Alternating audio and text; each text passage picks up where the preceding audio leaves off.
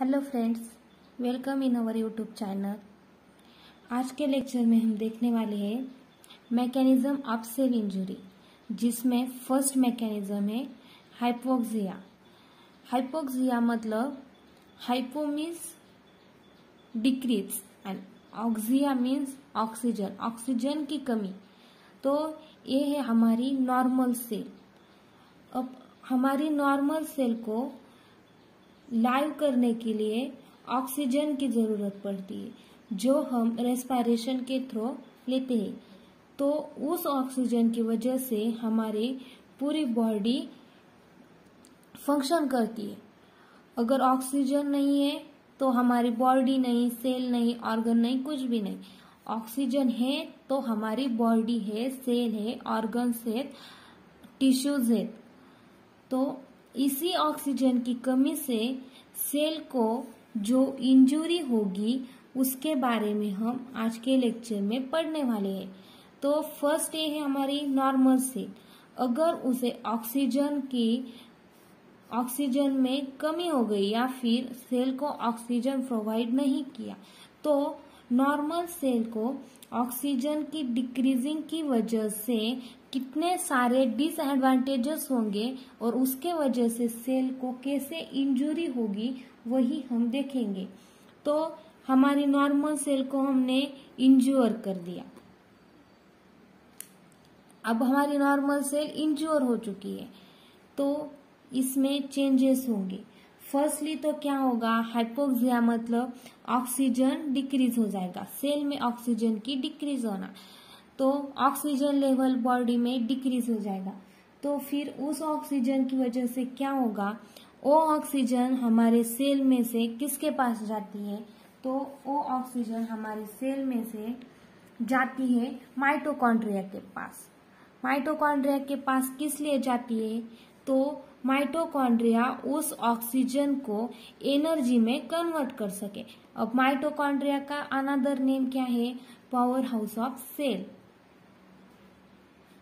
power house of cell अब जैसे हमारे घर में इलेक्ट्रिसिटी अगर इलेक्ट्रिसिटी नहीं हो तो पंखा नहीं चलता, बिजली नहीं होती, कुछ भी नहीं टीवी नहीं चलता फिर या फिर आपने मोबाइल को चार्जिंग नहीं होती तो उसी तरह जैसे इलेक्ट्रिसिटी हमारे हाउस की पावर हाउस है जैसे ही सेल की पावर हाउस को है? तो माइटोकॉन्ड्रिया जिसमें ऑक्सीजन से ऑक्सीजन और ग्लूकोज के बीच में कॉम्बिनेशन होकर माइटोकॉन्ड्रिया एनर्जी फॉर्म करती है और और अगर वही ऑक्सीजन सेल में कमी हो जाए, ऑक्सीजन की कमी हो जाए तो वो फर्स्टली अफेक्ट करेगा ऑन माइटोकॉन्ड्रिया मतलब फिर हमारी नेक्स्ट स्टेज क्या आएगी? माइटोकॉन्ड्रिया को अफेक्ट होगा। तो फ़र्स्ट क्या होगा सेकंड क्या होगा? माइटोकॉन्ड्रिया अफेक्ट होगी। और जिसके वजह से हमारे बॉडी में जो एनर्जी है in the form of ATP वो भी डिक्रीज हो जाएँगे। एनर्जी की फॉर्मेशन भी डिक्रीज हो जाएँगी। मतलब इन एटीपी कम फॉर्म होंगे। अब हमारे बॉडी के हर फ़ंक्शन को मेंटेन करने के लिए एनर्जी चाहिए। हर फ़ंक्शन जैसे हार्ट बीट हो या फिर कुछ और भी हो। सेल के हर पार्ट के फ़ंक्शन को मेंटेन करने के लिए और उसका प्रॉपर फंक्शनिंग करने के लिए हमें एटीपी चाहिए। और वही एटीपी रिड्यूस हो गया। किसकी वजह से? ऑक्सीजन की कमी की वजह से। तो फिर क्या होगा? इसकी वजह से अब हमारे सेल के जो मेम्ब्रेन है उस पर अफेक्ट करेगा। वो हमारे सेल के मेम्ब्रेन पर इफ़ेक्ट करेगा। तो क्या इफ़ेक्ट होगा? जो हमारे मेम्ब्रेन के ऊपर पंप्स होते हैं। ये हमारे मेम्ब्रेन के ऊपर पंप्स होते हैं। जिसमें फर्स्टली होता है सोडियम पोटेशियम पर। माइटोकॉन्ड्रिया में एटीपी की कमी की वजह से हमारे सेल की मेम्ब्रेन इफ़ेक्टिव हो जाएगी। और उसके वजह से क्या होगा, जो हमारे सेल में दो पंप है, जो पंप है, फ़र्स्ट है, हमारा sodium potassium pump, sodium potassium pump. और सेकंड है कैल्शियम पंप अब सोडियम पोटेशियम पंप से, वजह से क्या होता था? हमारे सेल में से सोडियम पोटेशियम पंप सोडियम बाहर डालता था और पोटेशियम अंदर लेता था। अब सोडियम पोटेशियम पंप पर अफेक्ट होगा। सेल मेम्ब्रेन पर इफ़ेक्ट हुआ, उसकी वजह से सोडियम पोटेशियम पंप पर भी इफ़ेक्ट होगा। तो फिर क्या होगा? जो सोडियम सेल के बाहर होना चाहिए, वो सेल के अंदर ही प्रोड्यूस होगा फॉर्म होगा और पूरे सेल में सोडियम इंक्रीज हो जाएगा। तो फिर उसकी वजह से क्या होगा? इसकी वजह से सेल में सोडियम इंक्रीज हो गया। अब पता है आपको, जहाँ सोडियम होता है, वह खुद ब खुद आ जाता है। अगर हमने साल्ट लिया, नमक लिया और उसे एयर में खुला छोड़ दिया तो साल्ट से वो एयर से एयर के थ्रू मॉइस्चर एब्सॉर्ब करता है। एयर के थ्रू मॉइस्चर एब्सॉर्ब करता है। उसी तरह सेल के अंदर, यानी सोडियम की मात्रा बढ़ जाने से फिर सेल में वाटर का लेवल बढ़ा देता है। मतलब फिर सेल में, हमारे सेल में वाटर की मात्रा भी बढ़ जाती है। सोडियम की वजह से वाटर भी बढ़ जाता है एच भी बढ़ जाता है और फिर सोडियम और वाटर कंबाइन होकर हमारी सेल स्वेलिंग होती है।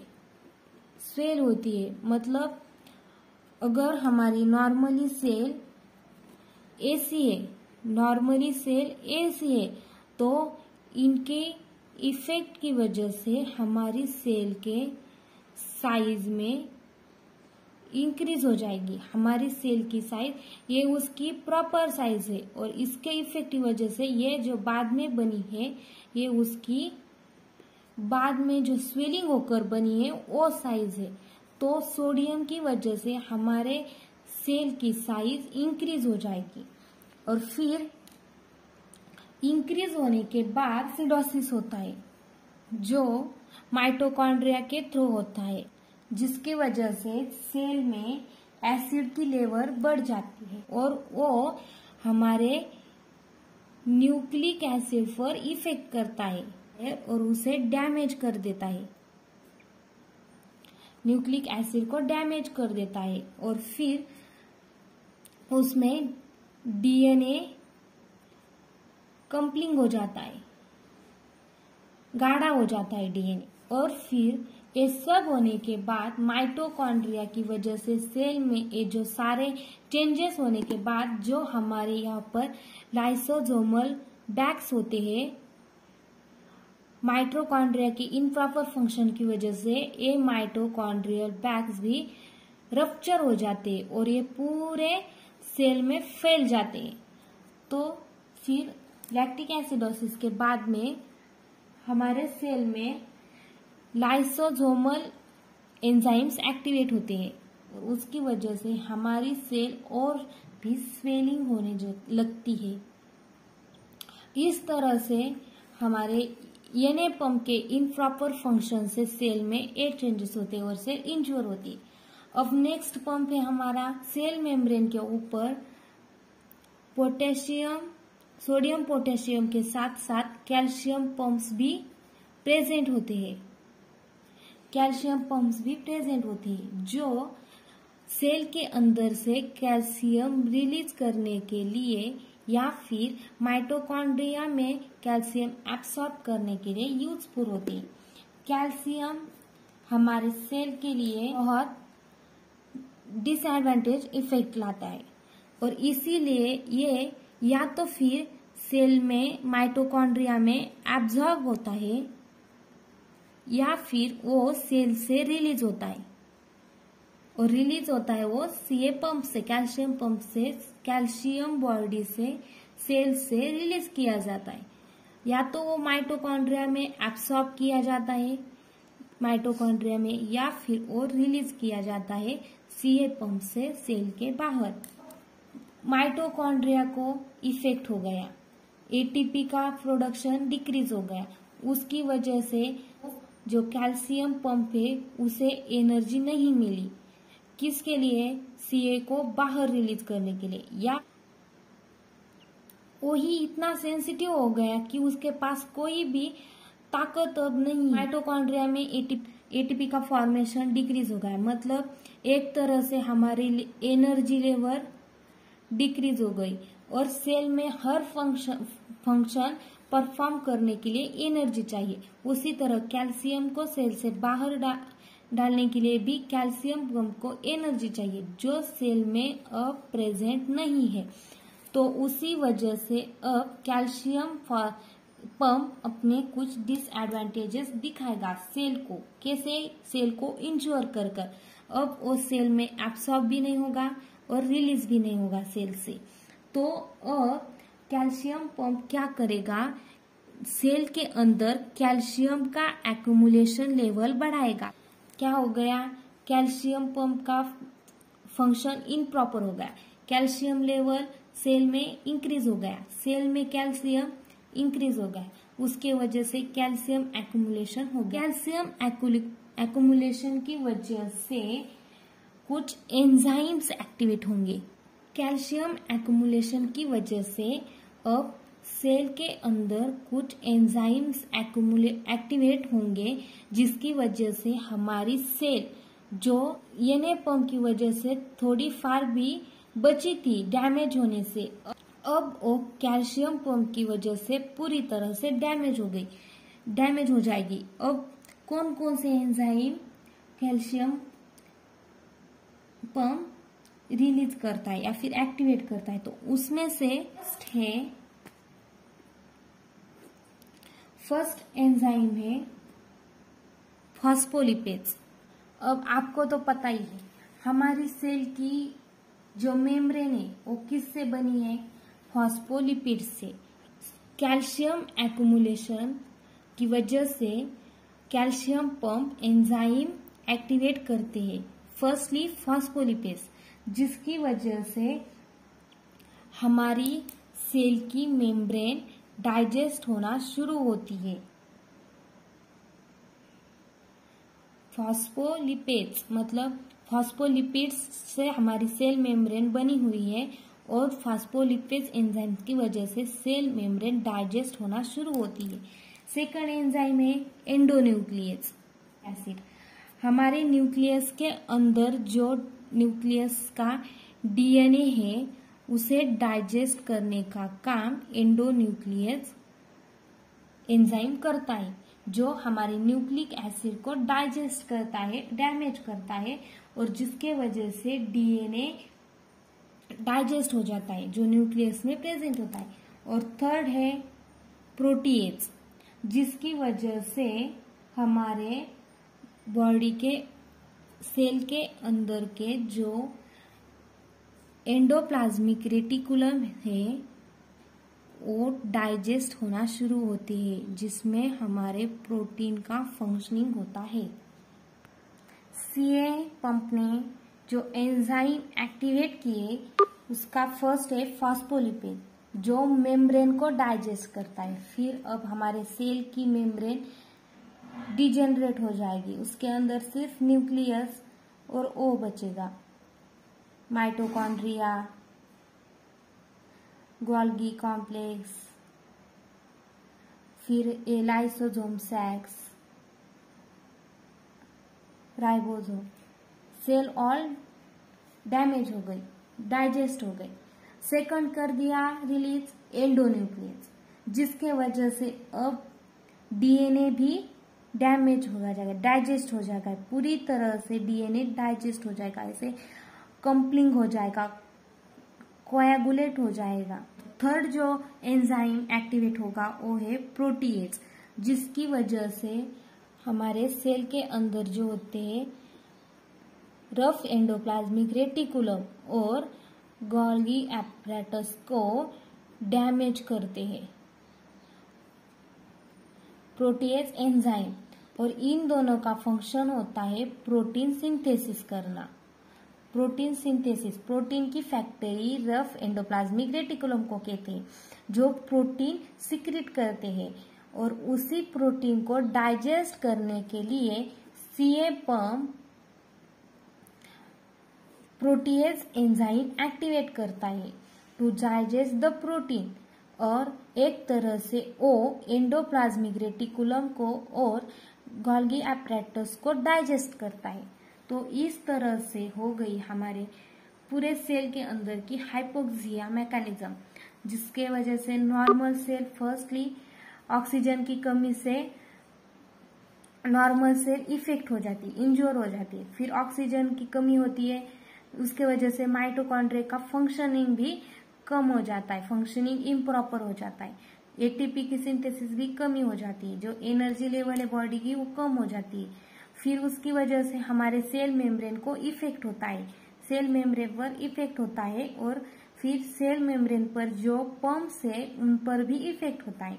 तो फ़र्स्ट पंप है सोडियम पोटेशियम पंप जो सोडियम को सेल के बाहर भेजने का और सोडियम को बाहर भेजने का और पोटेशियम को अंदर लाने का काम करता है और इसे ये पंप डैमेज हो गया और जिसकी वजह से सोडियम सोडियम का रिलीज़ होना स्टॉप हो गया और वो सेल के अंदर ही ग्रो करने लगा। मतलब सोडियम की लेवल सेल में इंक्रीज हो गई। तो सोडियम को एफिनिटी है वाटर की। तो फिर सोडियम ने सोडियम के साथ साथ वाटर को भी सेल के अंदर ले लिया, जिसके वजह से हमारी नॉर्मल सेल स्वेल हो गई। जिसकी वजह से हमारी नॉर्मल सेल स्वेल हो गई और उससे इंजुरी आ गई। फिर माइटोकॉन्ड्रिया के इम्प्रॉपर फंक्शनिंग की वजह से ग्लूकोज ग्लाइकोलिसिस में कन्वर्ट हो गया। लेकिन आगे की प्रोसेस के लिए जो ऑक्सीजन चाहिए था, उसकी कमी की वजह से ग्लाइकोलिसिस लैक्टिक एसिडोसिस में कन्वर्ट हो गया। माइटोकॉन्ड्रिया में ग्लूकोज के बाद ग्लाइकोलिसिस होता है। ग्लाइकोलिसिस के बाद ऑक्सीजन की कमी की वजह से ग्लाइकोलिसिस की अगली प्रोसेस लैक्टिक एसिड हो गई, जो होनी चाहिए थी क्रेप साइकिल और उसके बाद ईटीसी तो ऑक्सीजन की कमी की वजह से क्रेप साइकिल में कन्वर्ट होने से पहले ही ग्लाइकोलिसिस लैक्टिक एसिड में कन्वर्ट हो गए और जिसकी वजह से सेल में एसिड की लेवल बढ़ गई और इसी एसिड की वजह से न्यूक्लिक एसिड में डैमेज आ गई और फिर उसके बाद न्यूक्लिक एसिड डैमेज होने के बाद, पूरी सेल डैमेज होने के बाद लाइसोजोम ने अपने एंजाइम्स एक्टिवेट कर दिए और उस वजह से सेल पूरी तरह से इंजोर हो गई। और सेकंड पंप था कैल्शियम पंप कैल्शियम पंप क्या करता है? कैल्शियम का माइटोकॉन्ड्रिया में एब्जॉर्ब करने का या फिर सेल से रिलीज़ करने का काम कैल्शियम पंप से होता है।